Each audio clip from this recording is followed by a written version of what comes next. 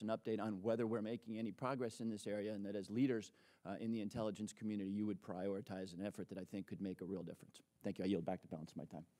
I thank the gentleman. Well, Director Clapper, uh, I said some really nice things about you right before you walked in. I think we should be able to get this done within 10 minutes. Cyber threats to U.S. national and economic security are increasing in frequency, scale, sophistication, and the severity of impact. And although we must be prepared for a large Armageddon-scale strike that would debilitate the entire U.S. infrastructure, that is not, it's not our belief that that's the most likely scenario. Rather, our primary concern are the low to moderate level cyber attacks from a variety of sources which will continue and probably expand. This imposes increasing costs, as you indicate, to our businesses, to U.S. economic competitiveness. Because of our heavy dependence on the internet, nearly all information communications technology and IT networks and systems will be perpetually at risk.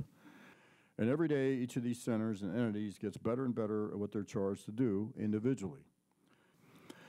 These cyber threats come from a range of actors, including nation states, which fall into, at least in my mind, two broad categories. Those with highly sophisticated cyber programs, most notably Russia and China. Those with lesser, lesser technical capabilities, but more nefarious intent, such as Iran or North Korea, who are also more aggressive and more, and more unpredictable. Thank you. Thank you, Mr. Chairman and members of the committee for the opportunity to talk to you today about this very important issue.